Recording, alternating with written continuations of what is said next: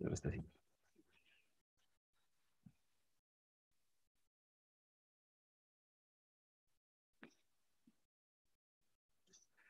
Ok. Ok, listo. Entonces, dijiste eh, que, que es un marco de trabajo. Dijiste otra cosa más, ¿verdad? Me pareció, que es un marco de trabajo y que funciona por iteraciones. Ahí Ah, estoy, estoy hablando, no sé en el orden que lo dijiste, pero me acuerdo. ¿Verdad? Estas iteraciones dice que son menor o igual a un mes. ¿Verdad? O sea, que estamos hablando que entonces la forma en que se generan el trabajo es que se hace en ciclos encajados en el tiempo. Eso es lo que significa. O sea, aquí lo que tenemos son cajas de tiempo que se definen desde el puro inicio. Esto es muy relevante porque ahora cuando veamos el contexto de esto marca, enmarcado con una gestión de proyectos, la tripleta no puede desaparecer. Entonces, cuando hablamos de cajas de tiempo, hay que tener claro esa, ese aspecto. ¿Ok? Y mencionaste que resulta que la forma en que esto significa es que se están entregando incrementos, ¿verdad? ¿Y qué es un incremento? Eh, que voy, voy, a decirle, Kevin, tal vez con lo que me dijiste, ahora me, me dices si me falta algo más, pero es para poner a involucrar a otros más. Eh, tal vez, eh, de los que estaban por ahí, eh, no sé, el grupo de Amira y, o, y, Kenny, vamos, ¿qué es un incremento?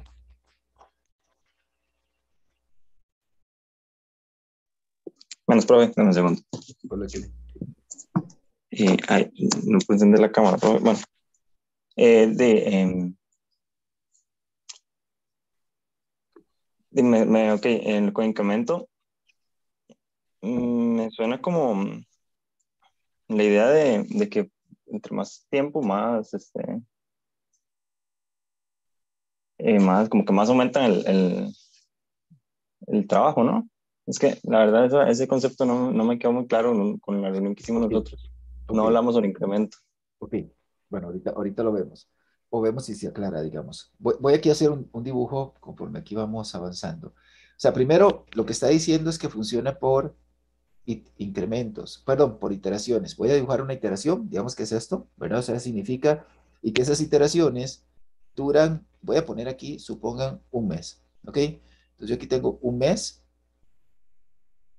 o puede ser menos, menos de un mes, ¿verdad? Pero vamos a suponer que es un mes. Eso significa que en cada uno de las iteraciones, dice, Scrum funciona por iteraciones, ¿verdad? O sea que hago ciclos y que además dice genera un incremento. Ese incremento, a fin y a cuentas, se puede visualizar que dada una iteración, ¿verdad? Una iteración genera un incremento. ¿Y qué es un incremento? ¿Verdad? Un incremento, a fin y a cuentas, es algo que tiene que entregar valor o tiene que percibirse que es de valor. De hecho, parte de lo que uno debe hacer antes de empezar a, trabajar en esta metodología, uno tiene que entender qué caracteriza un incremento en mi proyecto, ¿verdad?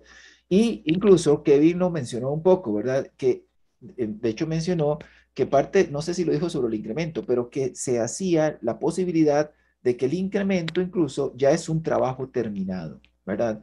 Generalmente en un sprint, entonces, si este estamos, estamos hablando que este es el sprint, ¿verdad? Este es el sprint. Generalmente en un sprint, si yo tengo que generar un incremento que significa que ya entrega valor a la organización, eso significa que probablemente corre completamente o incluso hasta se puede deploymentear. O sea, yo podría liberar en producción el incremento que produje en un mes. Claro, estamos hablando de un mes, lo cual significa que los incrementos posiblemente sean pocos. Pero ¿alguien más me puede decir algo más sobre los incrementos? ¿Quién me, quién me podría argumentar? ¿O nadie? ¿Jordi? Eh, profe, no sé, un incremento no solo puede ser un producto, puede ser alguna mejora a algún error o alguna corrección.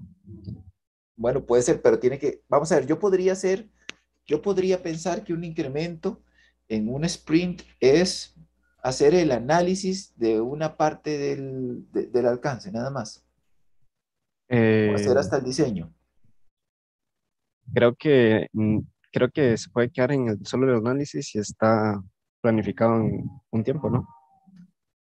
Ok, no. Ese es el detalle. Tiene que ser todo, dice, bueno, o sea. Tiene que ser total, tiene que cubrir todo el ciclo de vida en, en ingeniería software, porque ahora Scrum se usa no solo para ingeniería software. ¿Eso qué significa? Que durante el sprint, ¿verdad? Tuvo que ocurrir todo el ciclo de metodología de producto. Voy a ponerlo por acá. O sea, en todo el sprint, en un mes, tuvo que ocurrir el análisis, tuvo que ocurrir el diseño, tuvo que ocurrir arquitectura, si es que había, ¿verdad? Tuvo que haber integración, perdón, construcción, ¿verdad? Cuando se hace el código, integración y testing. O sea, en otras palabras, el alcance que iba a hacer en el sprint va necesariamente a considerar desarrollar todo el ciclo de vida, lo cual significa que mi incremento tiene valor porque la organización puede liberar y poner en producción, o sea, hacer un deployment de una pequeña funcionalidad. Esto es la gran diferencia. O sea, la organización siente como que si cada vez que termina un sprint está teniendo algo que ya puede usar. ¿Está claro, Jolly? No sé si lo vas viendo. Si yo me quedo solamente hasta el diseño, puede ser que no tenga valor para la organización. Me explico, porque a fin de cuentas nunca terminé algo que puedo entregar porque quedó en diseño. No sirve de mucho en diseño para la organización. Tiene que llegar hasta el testing. ¿E-, ¿Está claro ahí, Jordi? Sí, profe. Ok. Jimmy, ¿me podrías comentar si esto lo, estás entendiendo? ¿Va, ¿Va, bien? O sea, ¿estás viendo hay alguna diferencia ahí o no? Diferencia con... Vamos a ver, o bueno, tal vez ahorita te hago la pregunta con un poquito más de, de, insumos. Eh, Kevin, eh, eh, Kevin, perdón, el que estaba conmigo, Lanzas, era, Lanzas creo que era. ¿Qué más de, las, de las características que me dijiste, qué más dijiste? Productos complejos. Dijiste productos complejos, aquí esto es una cosa interesante, ¿verdad? O sea, generalmente se utiliza para desarrollar productos. Para desarrollar productos y complejos. Bueno, ¿y qué significa complejos? ¿Verdad? Muchas veces la parte de complejidad está asociada por variables, muchas variables al mismo tiempo que están jugando o no necesariamente están fijas o controladas. Generalmente, ¿en qué es lo que estamos hablando de los proyectos que, son, que se manejan por Scrum? En otras palabras, son los proyectos altamente adaptables, porque tengo tantas variables en juego, porque tengo indefiniciones, que este es un buen marco para poder hacerlo. ¿Pero por qué? Probablemente es un buen marco de trabajo para hacerlo porque yo entrego cada mes un valor y realmente mi, vamos a ver, alcance es chiquitico. O sea, entonces como es chiquitito, el control es mayor.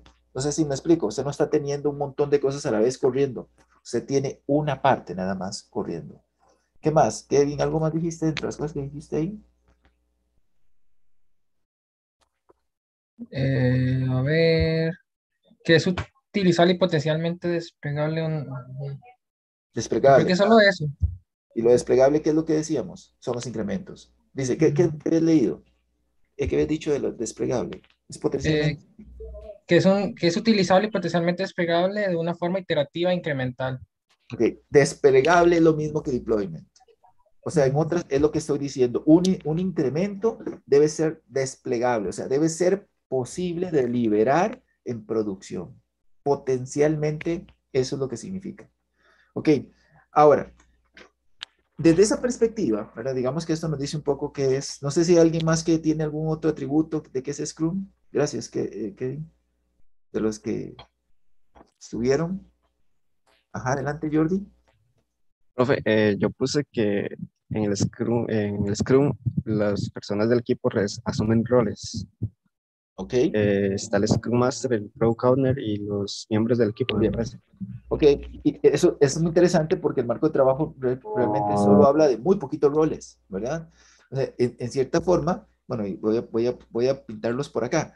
Eh, yo tengo, vamos a ver, el, el Scrum Team. Y, y el Scrum Team puede ser mucha gente, gente de diferentes naturaleza, no es exactamente la misma disciplina.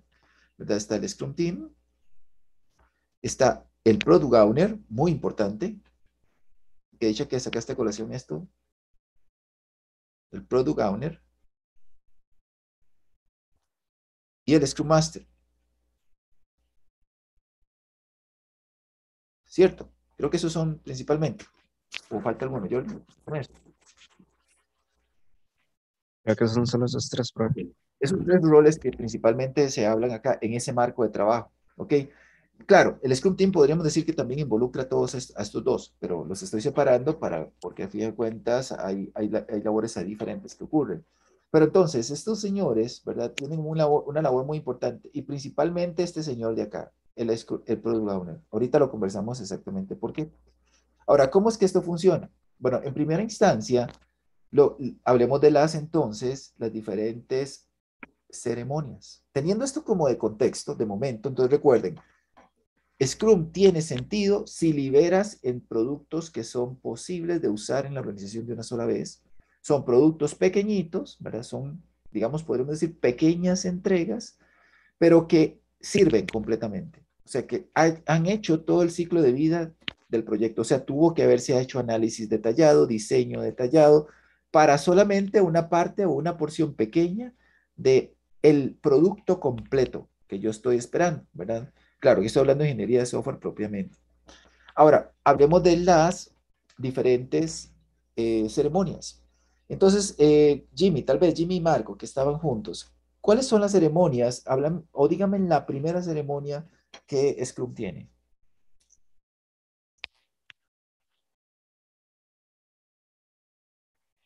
Eh, bueno, nosotros en ceremonias, ¿verdad? Eh, ¿Ah? tomamos eso como todas las actividades relacionadas al sprint, que son como la reunión de la planificación del sprint, el Muy Scrum diario y todas esas. Muy bien, pero entonces hablemos de la primera, que me acabas de decir. Ok, ¿Cómo se llama la primera? Reunión de planificación de sprint. El sprint planning, exactamente. Entonces, el sprint planning, ¿y qué es el sprint planning? En general, Jimmy. Eh, es como a lo que leí, entendí, es como, se hace co- como una vez al mes, ¿verdad? Y es como para planificar, ¿verdad? Eh, Es para planificar, ajá, ¿el qué? El sprint, ajá, exacto. ¿verdad? Ahora, porque es siempre una vez al mes. Eh, es una buena pregunta, ¿verdad? No, es de acuerdo al tamaño. Si yo he decidido que mi caja de tiempo son por meses, mi iteración es mensual, entonces mi sprint planning es mensual. Ok. Pero si yo hago sprints cada dos semanas, mi sprint planning es cada dos semanas. Es al finalizar el cada, cada sprint, digamos.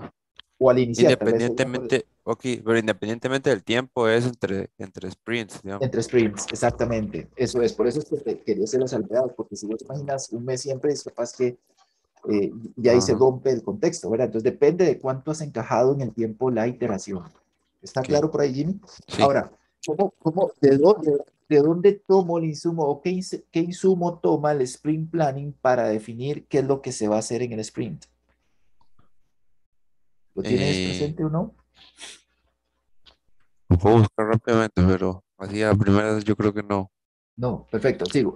¿Alguien lo recuerda? ¿Qué uso entonces? ¿Cómo determino el sprint Ah, ya, ya, el Product Backlog, creo. Exactamente. Entonces, muy bien. Entonces, yo tengo por aquí, ¿verdad? Una cosa, ¿verdad? Que se llama el Product Backlog, Ajá.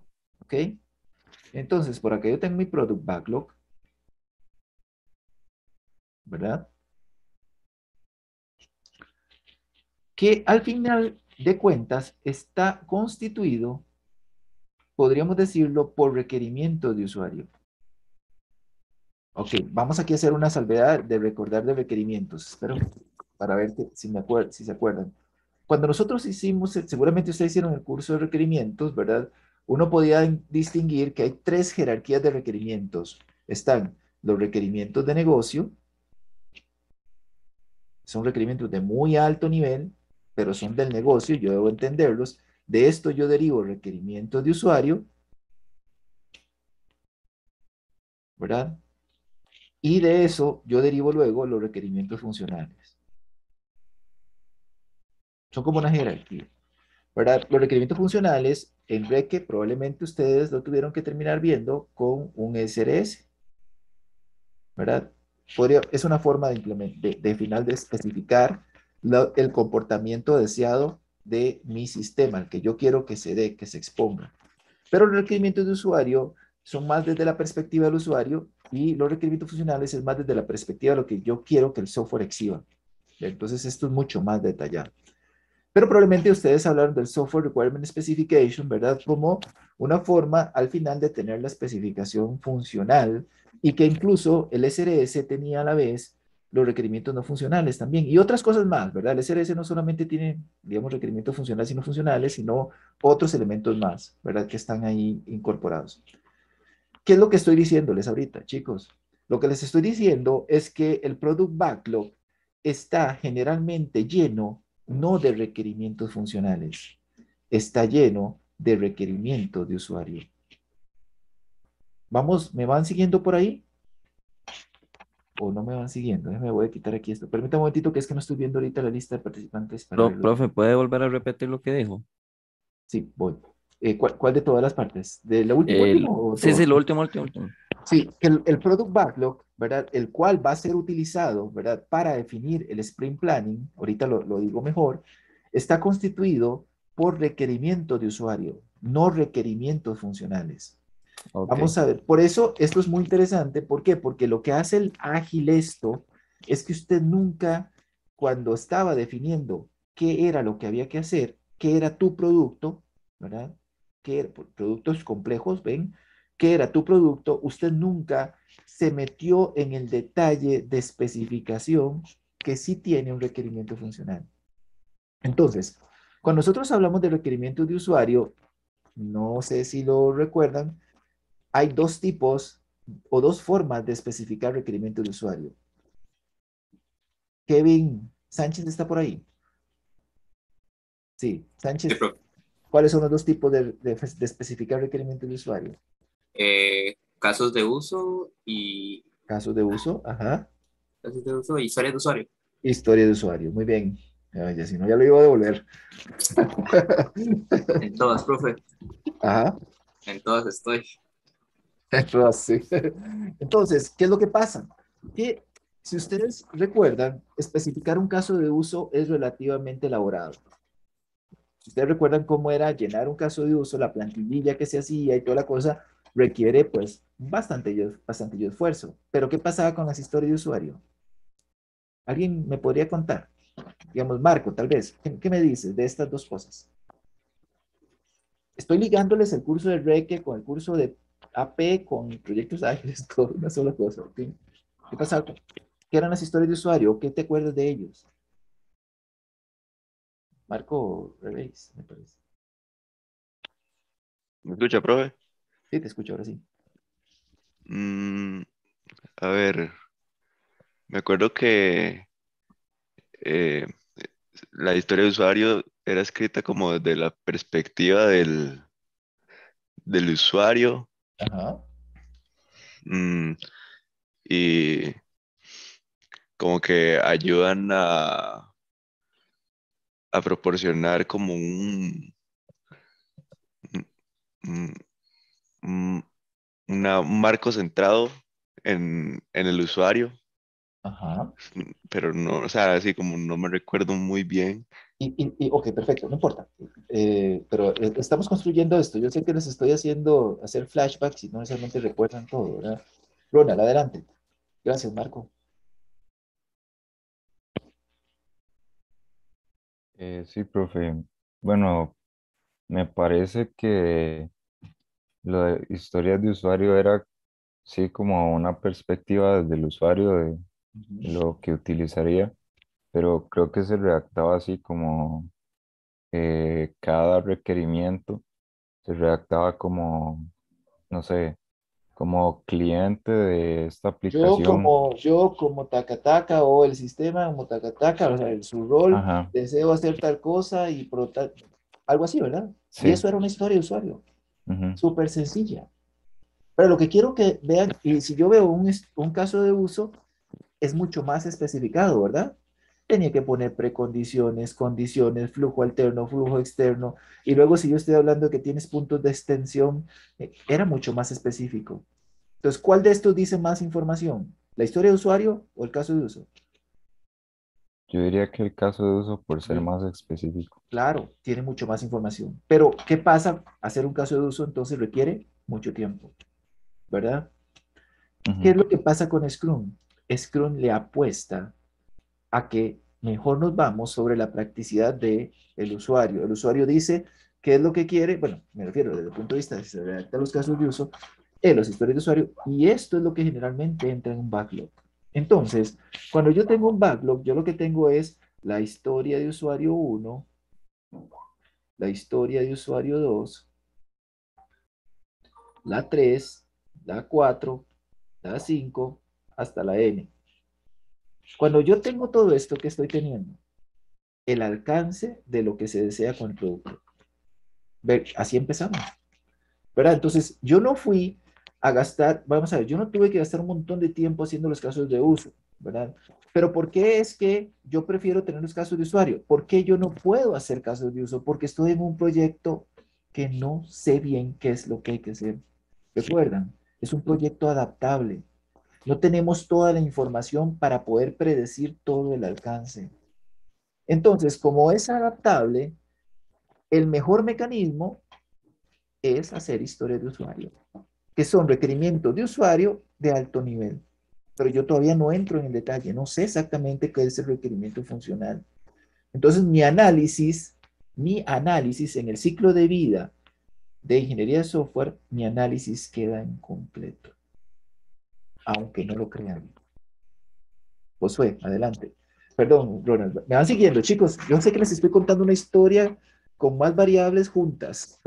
¿verdad? Esta clase creo que les va a revelar cosas, espero, al final, que no lo habían visto todo junto. Sí, Josué, adelante. Sí, profe. Este, entonces, digamos, el, el, el, la metodología confía en que, en que el Scrum Team, digamos, o, las, o los desarrolladores van a tener la capacidad de cuando ellos van a trabajar sobre una historia de usuario, Ajá. tienen que imaginarse todo lo que es los casos de uso y las, especific las especificidades de, de, ese, de esa de historia, hacer- digamos. terminan de hacer el análisis por cada historia de usuario.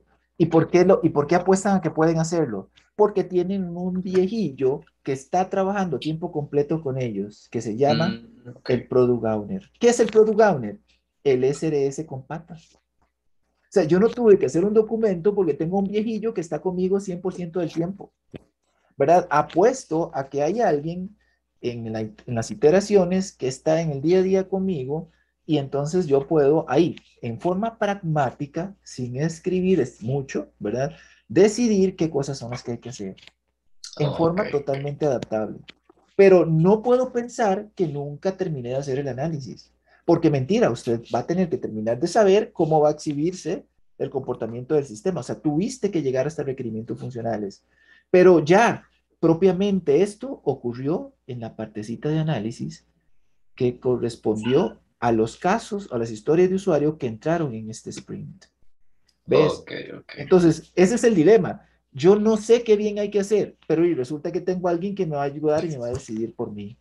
¿verdad? Y entonces yo voy a poder analizar ya el detalle para saber qué es lo que voy a tener que hacer, ¿verdad? ¿Qué requerimientos va a tener? Hay gente que piensa que cuando uno hace las cosas en forma ágil, nunca terminas haciendo análisis. Sí lo haces, lo que pasa es que lo haces con un enfoque distinto. ¿verdad?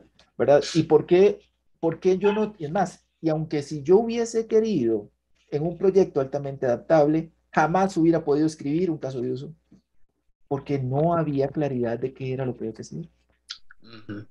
¿Me explico? Y esto requería demasiada especificación, y todavía más esto. Además, hay otra cosa importante. En los, en los proyectos altamente predecibles, usted cuenta con los usuarios, el Product Champion o los requerimientos, las personas que te pueden dar requerimientos al principio del proyecto en el análisis. Después se te van. O sea, vos no Ujú. los tenés de tiempo completo. Ven que hay una gran apuesta. Porque yo los tengo solo un rato, porque luego ellos tienen que irse para negocio, el negocio tiene que seguir existiendo, ¿verdad? Y después yo seguramente tendré la especificación, me la aprobarán, es mi línea base de alcance, y yo empezaré a trabajar y de vez en cuando los estaré llamando, de vez en cuando, y cuando haya pruebas y cosas. ¿Qué pasa aquí? No, está de jupa el MAE aquí. No, no se me Ujú. va. Sí, ¿Entiende entiende la es- diferencia? Ajá, sí, e- ese análisis que yo hago, en lugar de escribirlo, ¿verdad? Y hacer una gráfica y lo que sea, y Ajá. yo lo hago directamente con la persona y le digo, esto está pasando, ¿qué hago? O ¿cómo puedo resolver esto? ¿Qué pasa acá? Ahora, puede ser Ok. que signifique que tengas aún así que hacer artefactos y escribirlos, Ajá, ¿verdad? O sea, no sé, necesitas hacer siempre, dado lo que estás hablando con él, necesitas al final siempre hacer un diagrama de, de secuencia. ajá, ¿Pero por qué? Porque tenés que tener ahí la documentación que al final del, del proyecto en algún momento tiene que dar, pero no porque lo estés especificando. O sea, no significa que un proyecto ágil no escribas, ¿verdad? Ajá, pero escribes lo necesario nada más, ¿verdad? Y como supones, esperemos que no se nos muera el product owner, ¿verdad? En el camino, pero casi nunca se mueren. Porque si se mueren, quedamos sin especificador, ¿verdad? O sin la información, ¿verdad? Para hacer esa cosa. Pero me van siguiendo, sí, Josué, vas viéndolo. Sí, profe, sí, sí. Y, y la, y la distinción entre caso de uso y historia de usuario, ¿verdad? Ves que Ujú. va muy ligado caso de uso a proyectos adaptables, eh, predecibles completamente. Historia de usuario Ajá. a proyectos ágiles, ¿verdad? ¿Ok? Entonces, volviendo al sprint planning, para seguir con Jimmy, porque lo deja medio palo, ¿verdad? Ah, bueno, Jordi, tienes ahí la mano alzada. Adelante. Profe, este, esta parte del análisis, digamos, eh, el Scrum Master es el que, el que reparte las, los- las historias de usuario. Lo hace el Eh, equipo completo aquí en el sprint planning. O sea, en el sprint planning se reúne tanto el, bueno, el Scrum Master, los, el Product Owner y, el, y determinan que de estos historias de usuario voy a seleccionar qué puedo hacer en este mes. No sé si me, Ah, me voy explicando. Entonces, ven que aquí hay una cosa interesante. Vamos a ver, vean, vean, porfa. ¿Qué es lo que va a pasar? Que resulta que yo tengo aquí dos cosas muy fijas. Noten, ¿cuáles son las dos cosas de la administración de proyectos que aquí están fijas? Todo dura un mes. ¿Ves? Siempre tengo sprints de un mes. Y eso entonces significa que tengo fijo el tiempo. ¿Cuánto dura el tiempo del alcance que yo voy a definir? O sea, yo puedo haber dicho, este, historia de usuario 1, historia de usuario 3, historia de usuario 5, son las que voy a ingresar, las selecciono y digo, yo creo que yo puedo hacer estas tres historias en este mes con este equipo. ¿Me explico? Con este equipo. Entonces, lo que ocurre es que ahora tengo un Spring Backlog. Y cuando uno ya tiene Spring Backlog, incluso aquí uno ya puede empezar a usar cosas como Trello. ¿Han oído de Trello? ¿Verdad? Uno tiene tareas por llegar, no sé, bueno, no sé, no voy a entrar en esos detalles ahorita.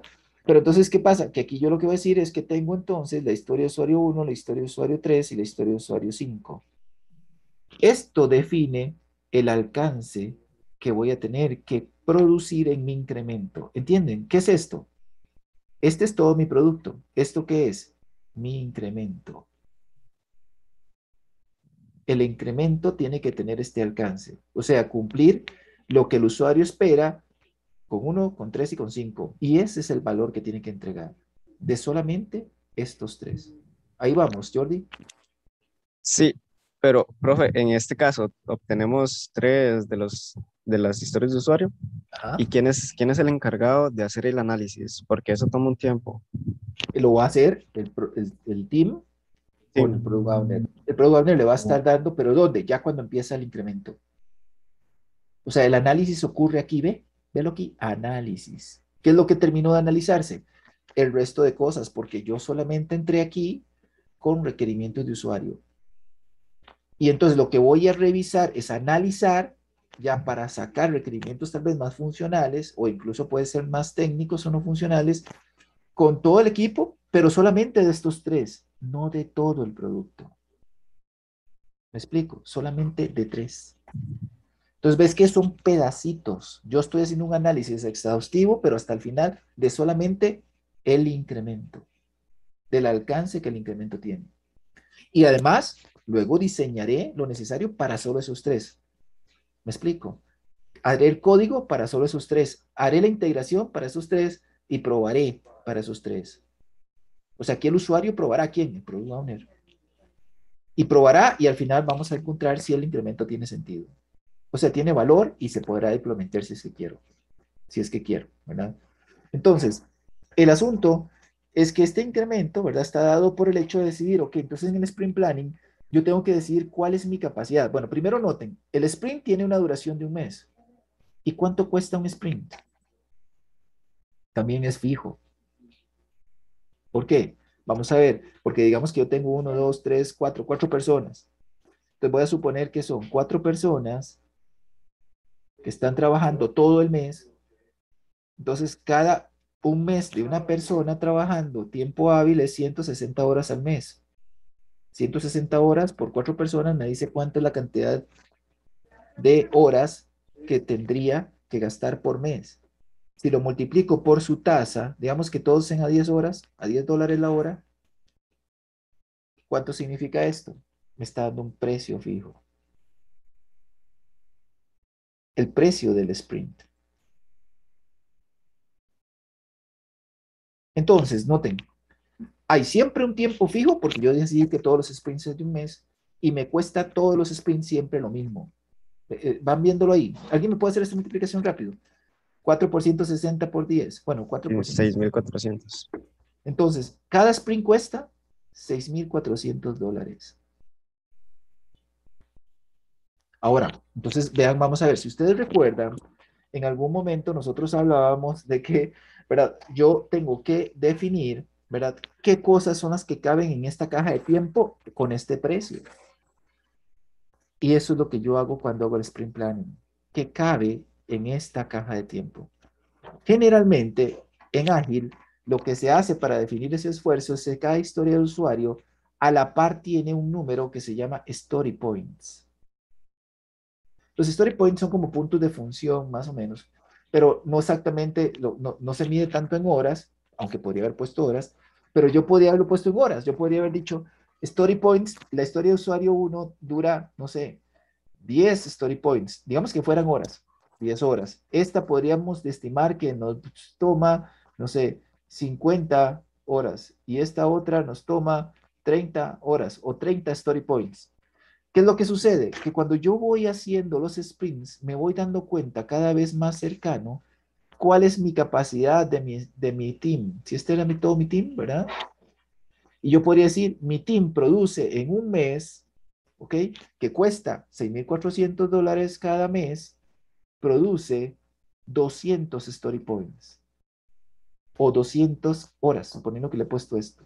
¿Qué significa eso? Que cada vez que yo hago un sprint planning, voy y busco las story points que yo y el Scrum Master desea que se hagan prioritariamente porque él decide qué se hace en cada sprint.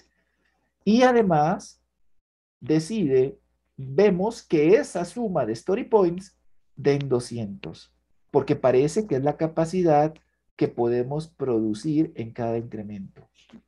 ¿Ven lo que estoy haciendo? Aquí me levantaron la mano alguien, vamos a ver. David y después Kelvin. Adelante pelo. Este, profe, este, eh, en la parte de, es que me quería salir un poquillo, porque decía algo sobre la cancelación del sprint, pero se lo quería preguntar, que qué pasa si, o sea, si hacemos lo del análisis, el diseño, lo del código y lo testeamos y luego el product owner no le gusta lo, lo que se hizo, él lo puede cancelar entonces. Él puede decir, el incremento no va no subió, no salió Ah, bien, pero el sprint me lo paga.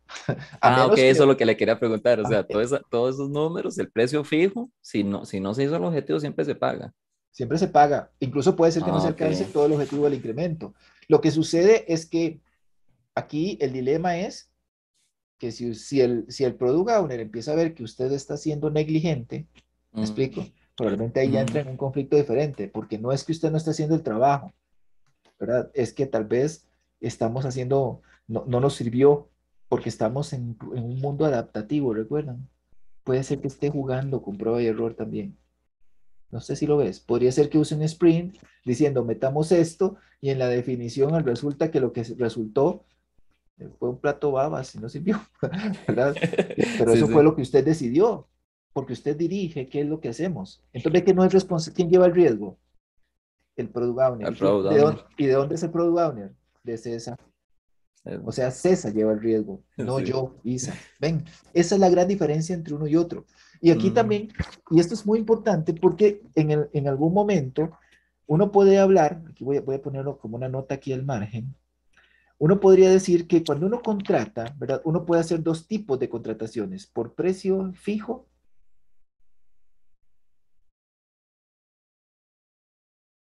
o por eh, tiempo y materiales se llama.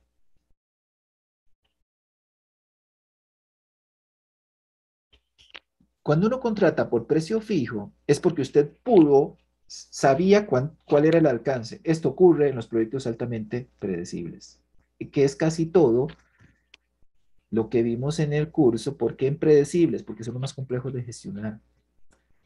Me explico, o sea, cuando yo llego y dice, usted, yo quiero que usted me cobre cuánto me va a cobrar en todo este proyecto. Y yo, yo voy a tener que decir, apuesto el precio tal. Entonces tengo que estimar bien. Pero para poder estimar bien, yo necesito saber que sea predecible, porque si no, ¿cómo voy a saberlo? ¿Verdad? Si yo no sé qué es lo que hay que hacer, no puedo estimar un precio. Pero si yo sé o la organización sabe, yo puedo establecer un precio y cobrar un precio fijo. Y entonces el proyecto se convierte en un proyecto de naturaleza predecible. O sea, un proyecto de naturaleza predecible puede tener precio fijo. Pero un proyecto de naturaleza adaptable es por tiempo y materiales. O sea, por el tiempo y por lo que gasto, te cobro. Entonces es lo que está pasando aquí. ¿Ves? Yo siempre te cobro cada sprint. Si usted quiere que haga uno más, hagámoslo. Usted me lo paga. Me explico, yo nunca hago una estimación de cuánto es totalmente. Seguramente tendré un presupuesto completo, pero no es que yo tenga un presupuesto súper rígido, predecible, porque nunca lo supe. Por eso estamos hablando que es adaptable. ¿Y cómo sé yo, Isa, me siento feliz con un proyecto de este tipo, de naturaleza adaptable? Sí, porque no llevo el riesgo. Si el product owner sigue metiendo cosas, eres él y yo voy a tener más sprints y me los vas a pagar. Mientras que un proyecto predecible, si usted me mete más cosas, yo ya había cobrado un precio. Soy más celoso del cambio. Mientras que aquí el cambio yo lo puedo abrazar. Venga, a mí que usted lo quiere, venga. Simplemente usted está metiéndome más alcance que van a venir en nuevos sprints. ¿Ok? Entonces, porque aquí va a una cosa importante. Eh, bueno, y esto es importante que es lo que estamos viendo acá, ¿verdad? Pues en el caso de Scrum, generalmente la forma contractual en que se lleva el cobro es por tiempo y materiales, y por eso es que uno dice, y sí, yo siempre, vea que el tiempo, ¿cuánto es? Siempre un mes. Materiales, ah, siempre es este recursos, cuatro recursos, cuatro personas. Ah, entonces siempre el sprint vale 6.400 dólares. ¿Lo ven? ¿Ok? Entonces, pero ¿qué pasa? Digamos, si en el sprint planning, ¿verdad? Termina el sprint planning, viene que es el incremento, hago el incremento, pero hay otra cosa más, aquí hay otra ceremonia más. Jimmy, ahora sí, volvamos a Jimmy, porque Jimmy lo dejé medio palo, el pobre, seguro de estar... Ah, bueno, pero me falta Kelvin, me volvió a preguntar algo. David, gracias. De hecho, eh, eh, es aprovechando eso que estaban hablando de, de las cancelaciones, que David sacó el tema y yo lo tenía también pensado para sacar. Digamos, eh, eso de las cancelaciones en la lectura hablaba de que son traumáticas para el equipo, Ajá. el equipo del Scrum. ¿Por qué se debe eso, digamos? ¿Por qué se dice que son traumáticas? Sí, porque generalmente hiciste esfuerzo que al final no va a ser usado. O sea, es... Y, y al Sí, final, pero igual, eventualmente, o sea, no es como que no le van a pagar ese, ese esfuerzo. Ah, no, eso sí, pero sí desmotivan, porque al final generan Ah, retrabajo. ok. ¿verdad? O sea, a fin de cuentas puede ser que no funcionó, todo el esfuerzo fue en vano, y luego viene de nuevo y vamos a tener que volver medio a hacerlo. A veces eso Mm. genera... Y, y esa desmotivación que se genera, si, si es eh, importante, digamos, o, o Sí. igual depende del equipo. Ah, ok. Sí, generalmente pensar que uno hizo algo que luego no se utiliza, ahí como que uno le hiere el, el- le desmotiva. Tiene que ver con el ego, con la realización, la Mm. autorrealización. Recuerda la pirámide de Maslow que habíamos hablado. Ajá, sí.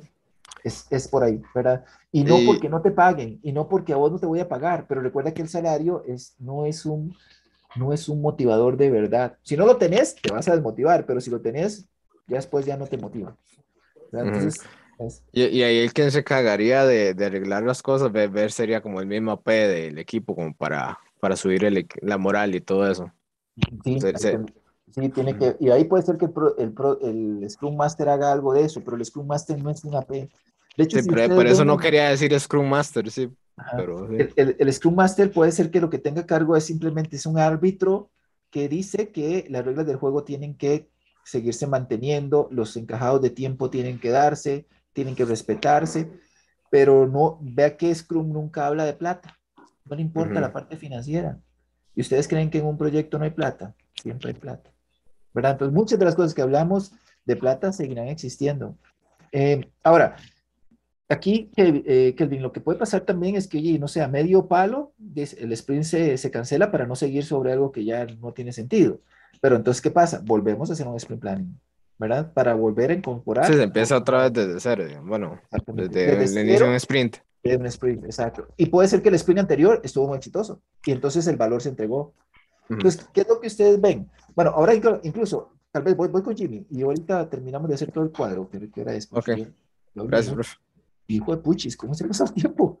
Eh, eh, Jimmy, ¿estás ahí? Sí, aquí estoy, profe. Eh, Jimmy, muchas gracias. Disculpe que te he dejado ahí. No, no, tranquilo. Y después, esa es ceremonia número uno. ¿Cuál es la ceremonia número uno? Scrum diario. El Scrum diario. Cuéntame, ¿qué es el Scrum, el Scrum diario? Es para sincronizar actividades en las próximas 24 horas. ¿Qué se va a hacer? Ok, voy a hacer, apuntarlo aquí. Scrum diario, ¿verdad? O el Daily Scrum. El Daily. Ay, ay, ay, yo lo escribí mal. Ay. El Daily Scrum. Y entonces dice, dices Jimmy que ocurre cada 24 horas. Así es, ¿verdad? Bueno, eso creo que fue lo que leí. eh, Creo que sí. Exactamente, así es. Son reuniones diarias. Todas las, todos los, todos los días durante el mes, ¿verdad? Nos reunimos y lo que hacemos es preguntarnos tres cosas. Y de hecho muchas veces se le llaman standing, standing, standing up meetings, porque la idea es que ni siquiera nos sentemos. Muchas veces se dice que esta reunión tiene que durar 15 minutos. Lo que dura 15 minutos. Después de 15 minutos se acabó. Si no fuimos efectivos comunicando las cosas, se acabó porque en Scrum es muy importante los encajados en el tiempo. Entonces, la, la, la reunión esta generalmente tiene que ver que el equipo dice, contesta tres preguntas. ¿Cómo me fue en el día anterior? ¿Qué cosas enfrenté? Me refiero problemas que enfrenté en el día anterior, ¿verdad? ¿Y qué es lo, y si fue cómo lo resolví? ¿Y qué es lo que voy a hacer para este día que viene? Ahora, todo eso encajado o conocido, ¿verdad? Que tiene que ver con las historias de usuario que están en el incremento que estamos jugando ahorita. Y esto entonces es una forma de estar mejorando, porque incluso podría ser que esto hace que el equipo se autorregule y se autocontrole. De hecho, es una de las características de Scrum. Los equipos son autorregulados y autoorganizados.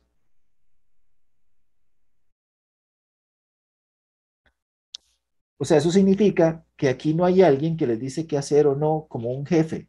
De hecho, el Scrum Master no lo es. El Scrum Master solo verifica que las reglas se cumplan, ¿verdad?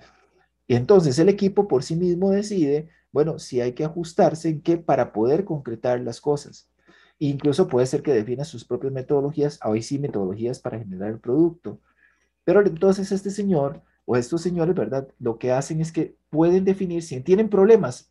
La, la teoría de Scrum es quién más que los que están en el barrial saben cómo limpiarse. Ese es como el fondo. ¿Por qué otro, por qué un tercero va a llegar a decirle haga una cosa u otra cuando saben exactamente qué es lo que puede hacer? Pero también como los, los incrementos son pequeños, no hay tantas variables en juego, lo cual hace que sea más fácil resolver problemas, porque mis alcances son muy chiquiticos, ¿verdad? No hay mucho en juego. Entonces, acá no tiene sentido hablar de un cronograma o hacer un Gantt para un mes, ¿verdad? No, usted empieza a trabajar y tiene que tratar de decir, después venga, qué tasa de productividad que les decía, story points, y empiezan a hacer las cosas para determinar, ¿verdad? Que puedan sacar el incremento. Pero ven que hacer planes de un mes es muy poquito tiempo para estar haciendo planes a cada rato, hacer un, un Gantt, por ejemplo. Entonces acá no se utilizan este tipo de mecanismos. Siempre igual, igual voy a llevar el tiempo y el control del tiempo en términos generales, porque al fin y a cuentas, cuando hice mi sprint planning, eso fue lo que hice. Todo dura un mes, todo dura precio, el precio de esto y qué es lo que se puede hacer en ese mes, ¿verdad? Eso es lo que estoy diciendo por acá. Después de que yo tengo el sprint planning, el sprint, el daily scrum, ¿verdad? Y que esto ocurre pues todas las 24, cada 24 horas y termina el sprint, dime qué sigue. La revisión del sprint. El, ajá, el sprint review. Entonces, el sprint review es otra de las ceremonias. Bueno, voy a ponerlo más bien con color como tenía aquí. Entonces, digamos que aquí tengo el sprint review.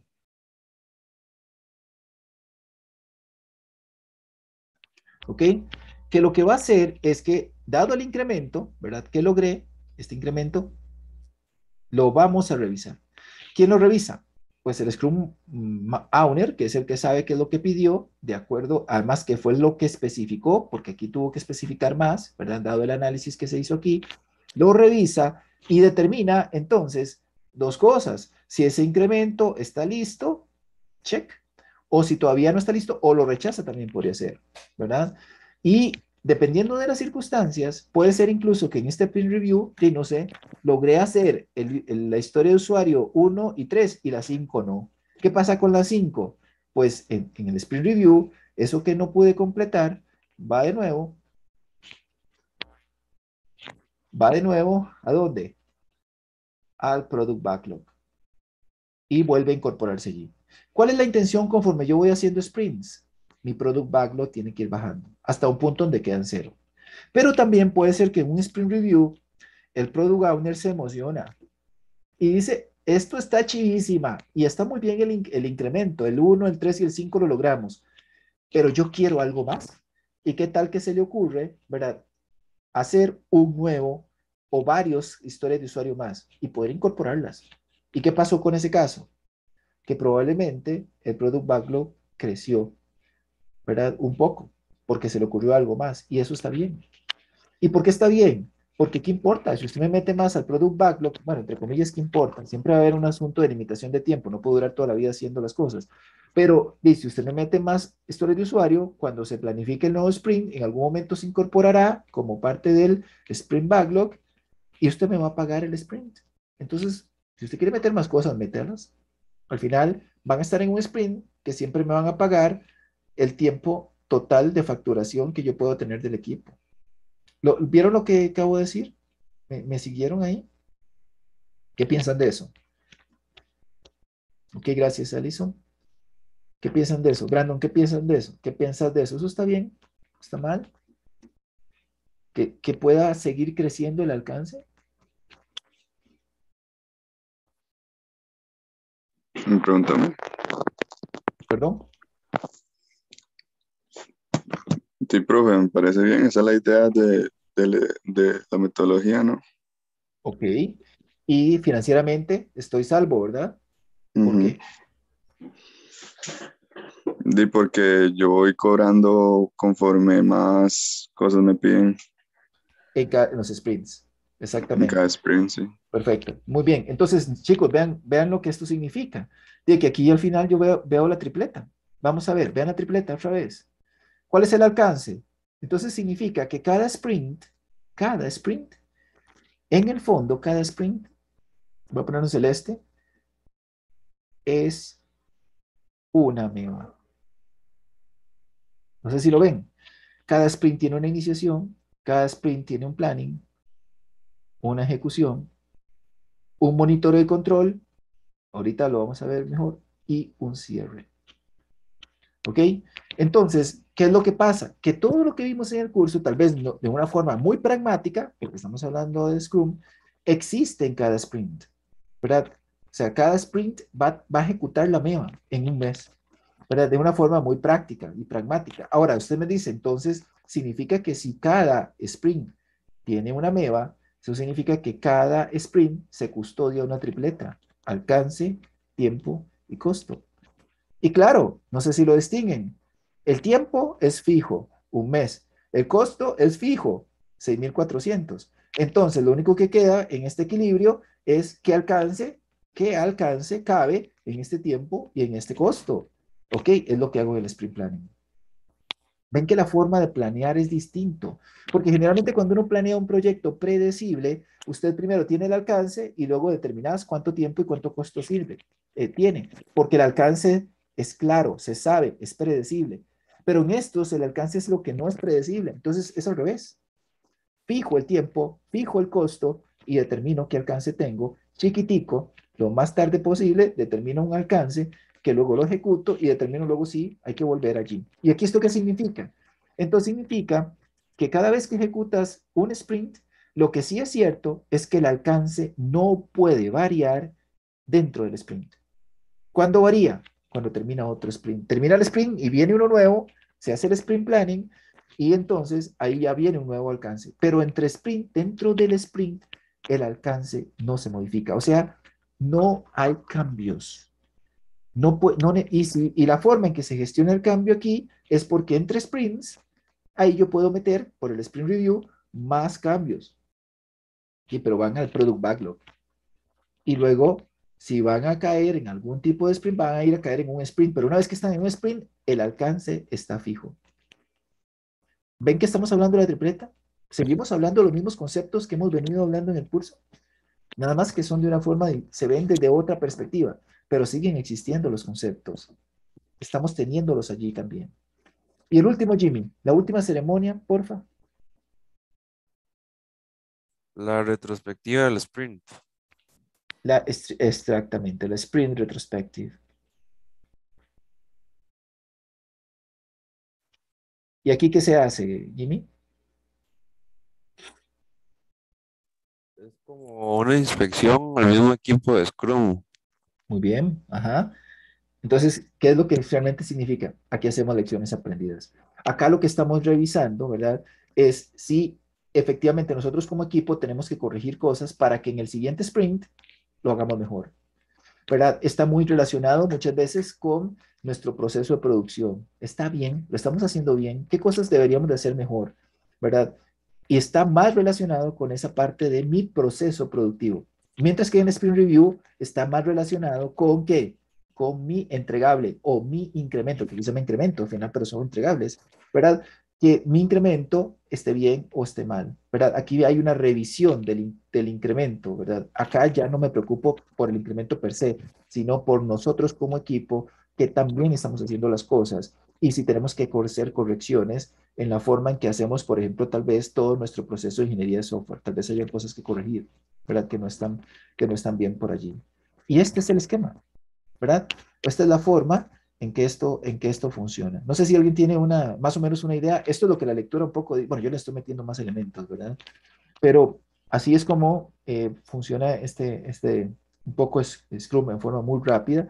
Y hay algunos instrumentos que se utilizan en estas diferentes ceremonias para estar seguro de que la cosa va bien. Por ejemplo, hay unos burn charts del, del, product backlog que lo que hace es ver que, por ejemplo, los el, el, product backlog debería de tener, si esta era la cantidad de historia de usuario, eh, generalmente eso se comporta así, digamos.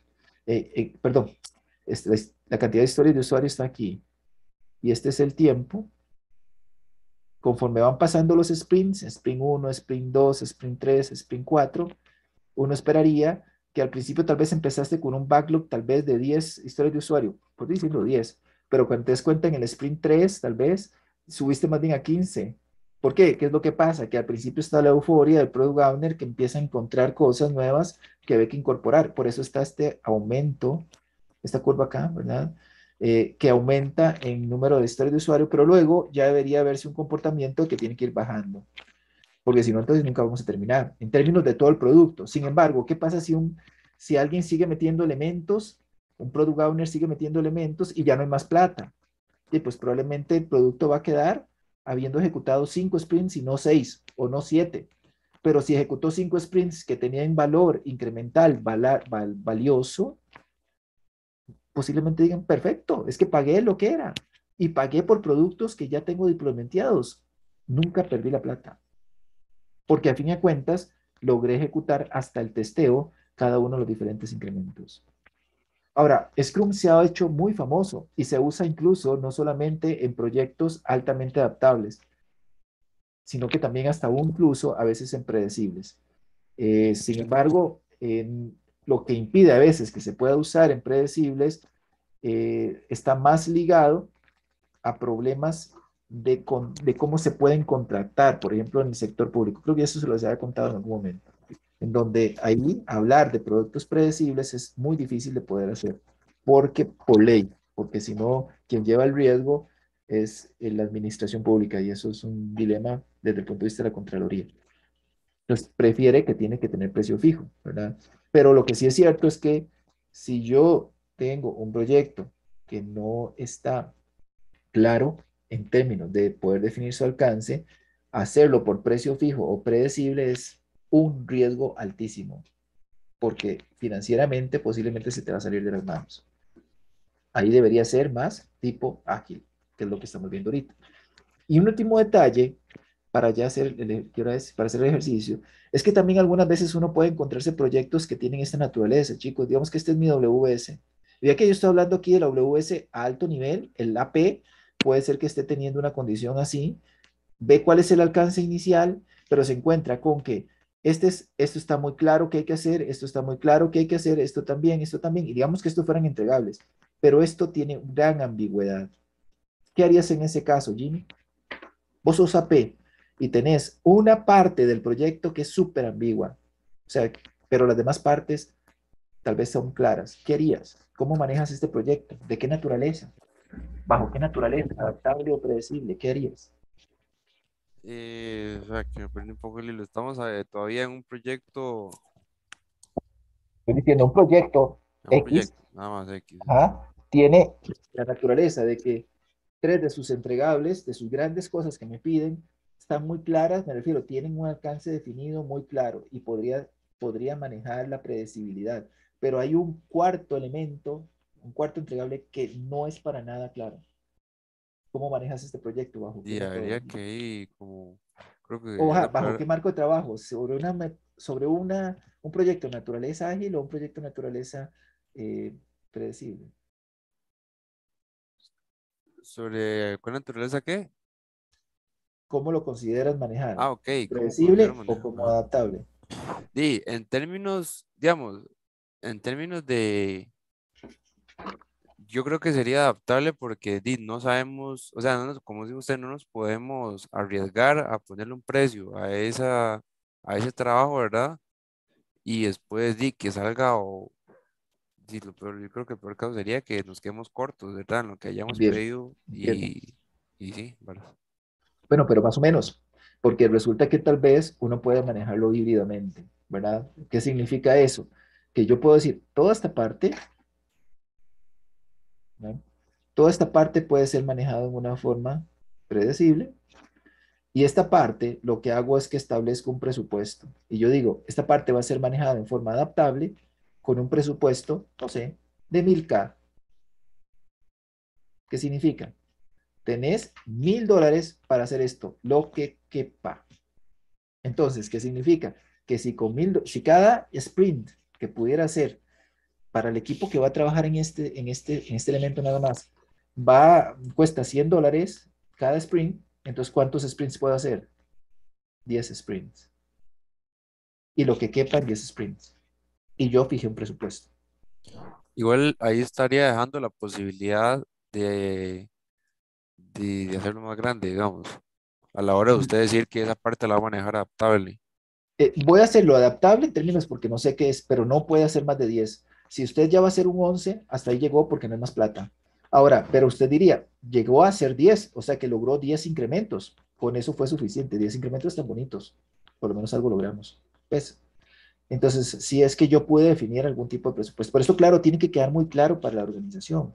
¿Y esto cómo se ve en un tamaño grande? Digamos, si yo estuviera, si yo tuviera que, pensar en un Gantt, porque ya aquí estoy hablando de que tengo mucho más predecibilidad que adaptabilidad, seguramente yo me imagino la WS en el Gantt, ¿verdad? Aquí, aquí tengo el entregable 1 y aquí tengo subactividades World Package de la actividad del 1, ¿verdad? Así, vemos que aquí tengo toda la cosa. Aquí tengo el entregable 2, ¿verdad? Igual. Dije que eran tres, ¿verdad? Entonces aquí tengo mi Gantt, ¿verdad? Y por aquí tengo el, porque todo esto es predecible. Si es predecible, eh, yo necesito controlar el costo, necesito una, un- algo para hacerlo. Pero cuando llego al entregable, que tal vez es la parte que va a ser adaptable, ¿qué es lo que aparece en el GAN? Una línea gorda nada más. Que tiene un costo o que tiene un recurso tipo costo, recurso tipo costo que vimos en algún momento que, que representa, por ejemplo, los tiquetes de avión o no sé qué, donde lo que yo digo es mil dólares. Y lo que hago es que toda esta línea, lo que espero es que dure, no sé, por ejemplo, no sé, va a durar seis meses, solo digo seis meses. ¿Qué ocurre ahí dentro? Ni puta sé, perdón por la expresión, no lo sé, porque resulta que es adaptable. Y esto va a ser manejado por un equipo de siete personas que están solamente dedicados a sacar esto, donde ahí hay un Scrum Master, hay un Scrum, hay, hay un Scrum, un, owner, un Product Owner, etcétera, y sacarán esa labor en, en- con mil, ¿cuánto dije? Mil dólares en el anterior, ya no me acuerdo. Sí, Mil dólares. Mil dólares, exactamente. Ay, perdón, ya me, pasé. Entonces, esta es una forma, digamos, donde hay un project manager, o un AP, que es un AP que sí ve todo el mundo, ¿verdad? Y aquí lo que hay es que simplemente pide cuentas, seguramente al, produ- al, al, al Scrum Master un poco, de que vayan saliendo las cosas y los resultados, ¿verdad? ¿Pero por qué? Y porque a fin de cuentas esto se ve como si fuera un Word Package, ¿verdad? O un gran entregable que lo cede a un equipo que lo va a manejar bajo una filosofía adaptable porque no tenemos claro qué es lo que hay ahí. Pero la organización sabe que aquí se va a gastar mil dólares en este entregable. Y en estos, él dice, en, la- en estos yo tengo que llevar el control, si esto fuera, no sé, 20 mil dólares más del proyecto, todo el proyecto sumaba 21 mil dólares, por decirlo así. Pero estos 20 tienen que ser controlados con lupa, porque la tripleta aquí no puede variar. El alcance yo no quisiera que varíe como lo loco, porque aquí yo no puedo cobrar más de los 20 mil. Mientras que aquí yo esperaría que solamente llegue hasta 1000 y puede ser que hayan variaciones allí, pero realmente vean que el determinar qué historias de usuario se hacen o no se hacen está más ligado por la dinámica que tengan los sprints. Y ese es el juego, más o menos. Pero este es un ejemplo que me estoy yendo más al extremo, ¿verdad? Jimmy, no sé si me sigues, ¿verdad? Estoy yendo a est- a un ejemplo más complejo en términos de, de cómo gestiono estas cosas. Estamos, Sí, yo creo que sí, sí se entendió bastante bien, la verdad. pura vida. Va- vamos a hacer un último, un, un último elemento de este ejercicio y es que van a ir a la siguiente, a la siguiente hoja. Voy a compartirles por acá.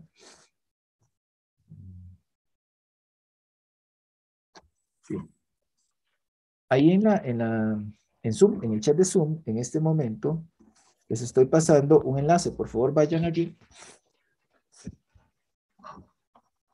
Y vamos a hacer en 10 minutos, para 10 minutos, pues no tenemos mucho tiempo, van a tratar de hacer un mapeo. Voy a compartir un toquecito aquí, el, el- lo, que, lo que les acabo de compartir.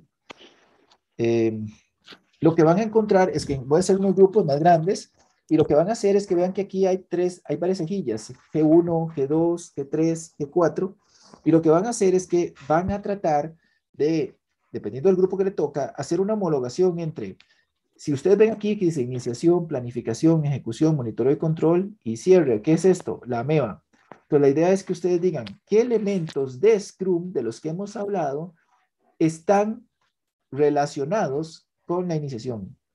¿Qué elementos de Scrum están relacionados con la planificación de lo que hemos visto y así con los otros? ¿Ok? En un ejercicio a- a lo- al vuelo, digamos, lo que vayamos viendo al vuelo. ¿Ok? Entonces no sé si quedó claro. Nada más que se ubican en la cejilla correspondiente. Eh, ¿Está claro, chicos? ¿O no está claro? Que no veo nada. Sí, ok. Bueno, David por lo menos sí está claro. Sí, hay varios ya que me dijeron que está bien. Ok. Entonces, voy a, a crear los grupos. Eh, Voy a hacer los nuevos. Y vamos a hacer, eh, vamos a ver, sí, unos cinco grupos tal vez.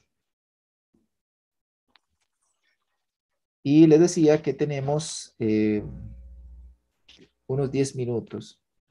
En este momento les estoy, ya pueden ir a los grupos y traten de hacer ese mapeo. O sea, lo que ponen son los aspectos en- y, y tratan de ligar lo que vimos en el curso con la MEVA y si tiene relación con algo de Scrum.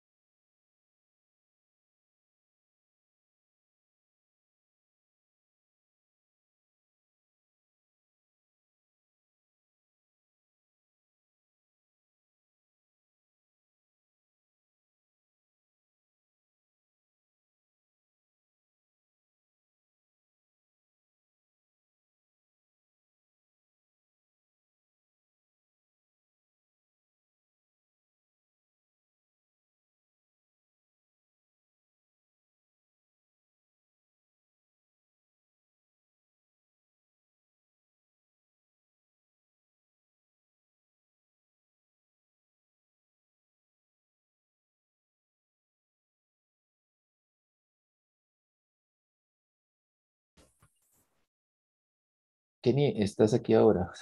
Eh, es que, profe, estoy con dos cuentas, era para ver si no me puede mandar con... Esta es la, la compu, ¿Qué el otro el qué celular. grupo era? Eh, grupo 2, El 2, donde está David, sí, ok. Eh, gracias. listo, Kevin. Eh, Kevin, Kenny.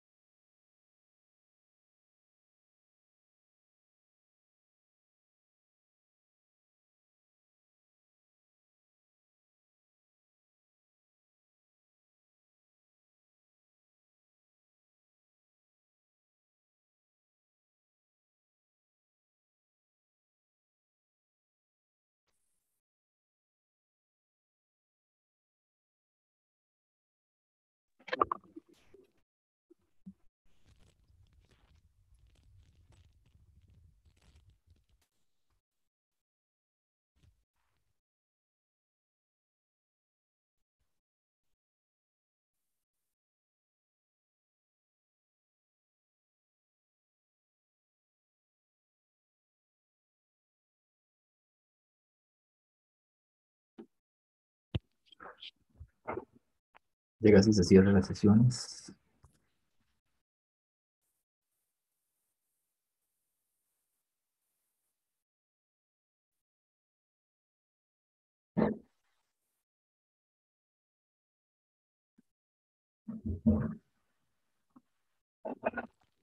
Bueno, Ya los, ya los todos.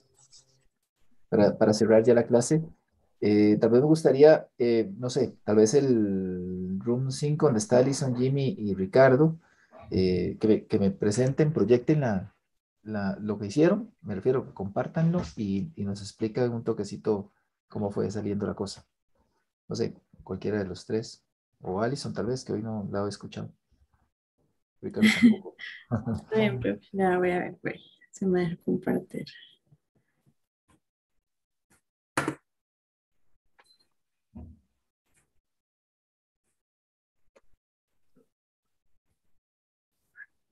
Bueno, esa es la parte que nosotros hicimos. Ajá. Eh, tratamos como de, eh, ¿verdad? de comparar algunas cosas en el, en el sentido de la iniciación. Pensamos que a la hora de hacer el Product Backlog es como lo que tiene que ver como cuando iniciamos el proyecto con el Product Charter porque definimos qué es lo que se va a trabajar. Muy bien. ajá. Luego en planificación, eh, el Sprint Planning, ¿verdad? Y el Sprint Goal, que son como los que... Tal vez ahí sí me hace un toque, eh, Al- Alison, tal vez eso que acabas de decir, quisiera agregar algo más. Eh, en particular, por ejemplo, bueno, si habíamos dicho, ¿verdad?, que la iniciación está dado por el Product Charter, ¿verdad? Ah, recordábamos que el Product Charter era una forma rápida de tener representada la tripleta, ¿verdad? Aquí, aquí esto es muy interesante porque a fin de cuentas, vean que el Product Backlog, ¿qué es? El alcance, ¿verdad? Definido en muy alto nivel, que es más o menos lo que teníamos en el Product Charter, para no Ujú. con historia de usuario, pero, pero a fin de cuentas era una intención del proyecto desarrollar. Y efectivamente ahí no podría tener algo ahí. Pero ¿qué pasa con el tiempo y el costo? A fin de cuentas están fijos, ¿verdad? O sea, están establecidos desde el inicio.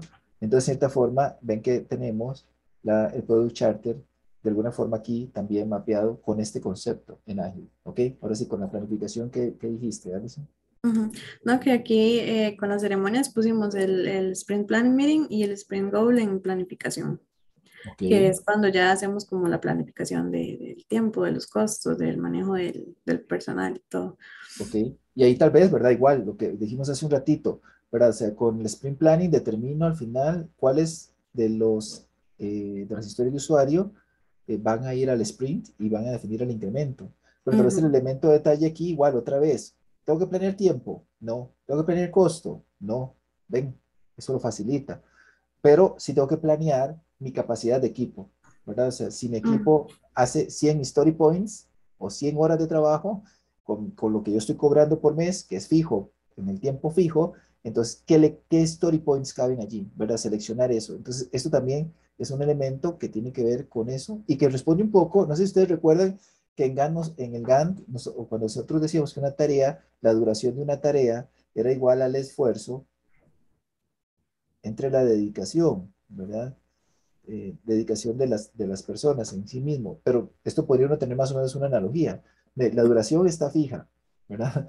La dedicación son fijas, siempre son, siempre son las mismas personas. Digamos, si tengo tres personas, son 300% de tiempo, ¿verdad? La duración siempre va a ser un mes, ¿verdad? Y lo que necesito es ver qué, qué cabe en ese esfuerzo, en el esfuerzo de 100 story points o 100 horas, ¿verdad? Y eso determina al final la cantidad de historia de usuario. Ven que hay una hay cierta eh, similitud o hay un paralelismo en eso también. Continúa ahora, sí, Alison, disculpa. Ajá. Luego en la parte de ejecución fue donde pusimos el Daily Scrum, que es lo que se va a estar haciendo, ¿verdad? Durante, durante el mes, durante el, el incremento. Eh, y luego Pero el, el Daily Scrum, vos decís que es de ejecución. ¿No, no crees que el Daily Scrum es más como un mecanismo de, de control? nos pareció también, es que no queríamos dejar ejecución solo, entonces lo Ok. pusimos ahí. Entonces, ahí es donde está el punto, que es ejecución. ¿Qué era el resultado que se esperaba cuando uno gestiona proyectos en la parte de ejecución? ¿Cuál es el principal resultado de la gestión de proyectos que se espera?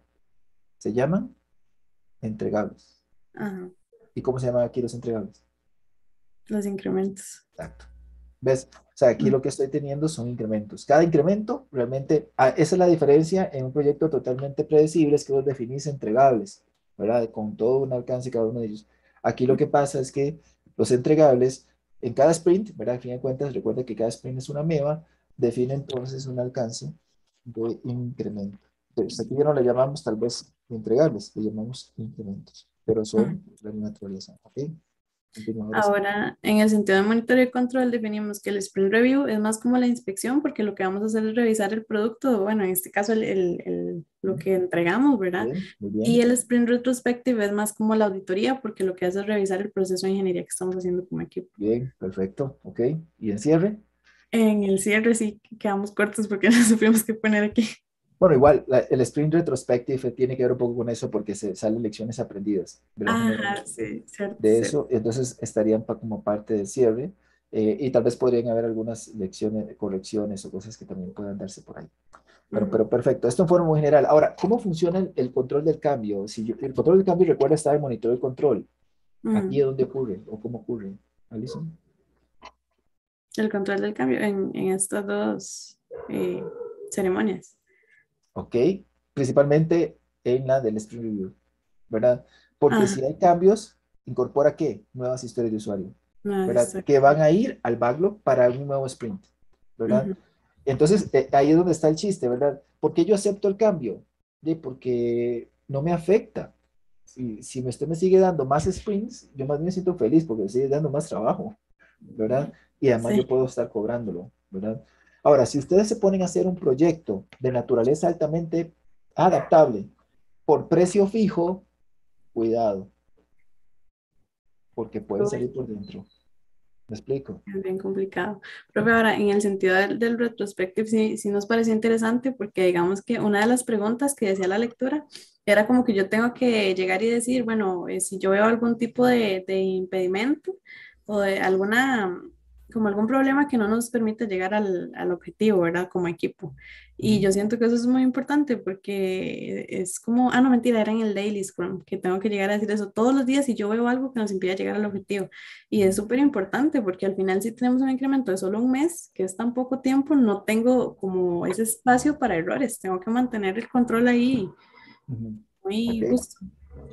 Muy bien, muy bien. Pero ven, entonces es importante que ustedes siempre entiendan la naturaleza. Ya ven que aquí yo le metí un elemento más, o sea, eh, yo no, aquí Scrum no lo dice, no habla de tipos de contratos, yo les estoy contando tipos de contratos, pero yo no podría imaginarme hacer un proyecto ágil manejado, digamos, eh, por un contrato que no sea tiempos materiales. ¿Me explico? Habría que ver si hay algunos bemoles que le pongan, pero sería muy peligroso, o a menos que usted le pone un techo, ¿verdad? Usted lo que está diciendo es, yo voy a pagar los sprints con tanto, tanto, y puedes hacer 10 sprints, después de eso ya no puedes hacer más. Esto está bien, y tenemos un techo, o sea, solo puedo hacer 10. Ahora, lo que pasa es que si hice 10, se supone hice 10 incrementos, y son 10 incrementos valiosos, entonces, eh, logré seguro tener valor, ¿verdad? A diferencia de un proyecto altamente predecible, que si yo lo dejo, no terminé con todo el alcance que esperaba y puede ser que yo nunca terminé de tener todo el documento, todo la- todo el software funcionando. Porque como yo primero tenía que hacer todo el análisis, todo el diseño, taca, taca, y ya llevé, no sé, ocho meses, ¿verdad? Y apenas voy por testing o apenas voy por integración, y al final todavía no he generado ningún producto que corra, ¿verdad? Porque estoy haciéndolo todo conjunto, mientras que aquí yo lo estoy haciendo todo, pero por pedacitos. Esa, esa es la, la diferencia, digamos. Eh, listo, yo creo que no, no tendríamos chance para alguien más, pero sí me gustaría, gracias, eh, Alison. Eh, eh, nada más una, dos comentarios de dos personas de esto que hemos visto hoy. ¿Cuál es la conclusión que podrían tener? Eh, no sé si hay dos voluntarios o si no, yo les pregunto. Kenny, me gustaría oír tu comentario. ¿Cuál es tu conclusión de lo que hemos visto hoy? Profe, perdón, estaba moteado. Eh, le quedó mal con la cámara, es que estoy de la compu. Bueno, dale. Y bueno, en- la verdad yo lo veo como una gran herramienta, tanto para el equipo en trabajo y el desarrollo de software. Es como que permiten trabajar de, de una manera muchísimo mejor y más ordenada. ¿Ok? ¿Entendiste la relación de lo que hablamos? Los conceptos que vimos y cómo se intrincan, que no son aislados realmente. Sí, correcto, que todo se relaciona. Ok. Y hasta lo que vemos en, en cursos anteriores, eh, con- se me olvidó el nombre del curso, este, Desde bueno, usted sabe cuál es, eh, que tiene conceptos similares y que se, se interrelacionan. Pura vida. Gracias, Ken. Con Eh. Ricardo.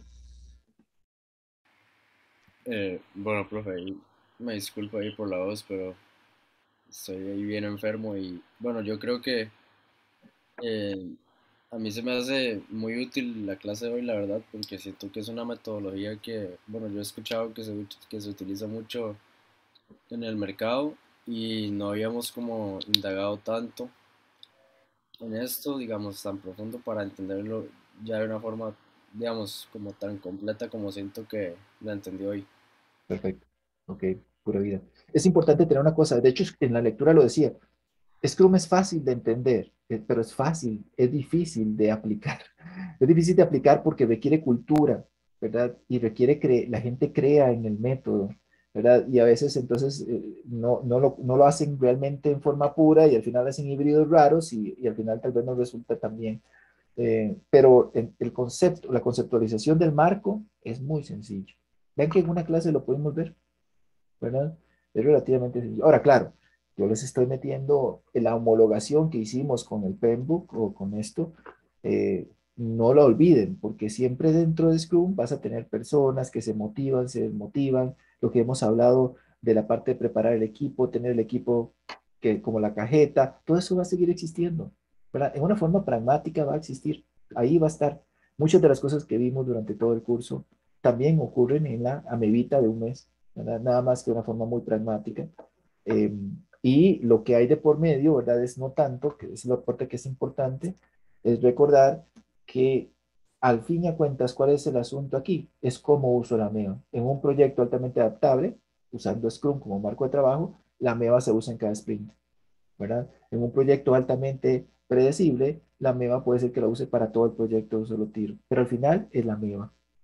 Entonces, ven cómo yo uso la MEVA, eso depende de mí. Incluso hasta con conceptos híbridos, como el último que le dije a Jimmy en algún momento. Gracias, Richard, por, el comentario. Eh, bueno, chicos, entonces creo que hoy quedamos eh, por acá. No sé si hay otro comentario.